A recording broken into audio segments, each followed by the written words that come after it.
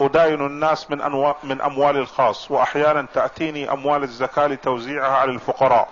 هل يجوز أن أسدد قروضي أو أموالي من هذه الزكاة التي على الفقراء؟ حول ولا قوة إلا بالله. لا ما يجوز هذا. هذه أمانة عندك تعطيها الفقراء. ما هو بتأخذها لك وتقول هذا سداد الديوني عن اللي عند الناس.